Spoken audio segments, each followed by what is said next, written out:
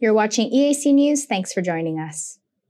From 1st December 2022, traffic police on the Phnom Penh Sihanoukville Expressway will start enforcing stricter measures on speeding and will impose fines on drivers who violate traffic laws.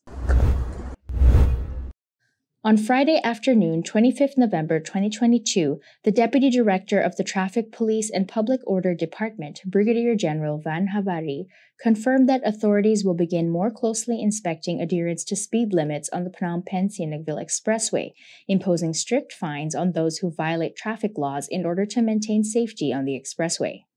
The Deputy Director of the Traffic Police said fines for speeding on the expressway will protect lives and prevent more accidents.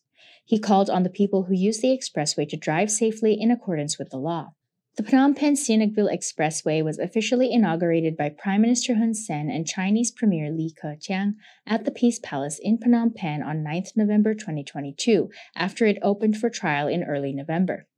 The Phnom Penh Sihanoukville Expressway is Cambodia's first expressway and connects Phnom Penh to the city and largest seaport of Sihanoukville over 187.05 kilometers of road.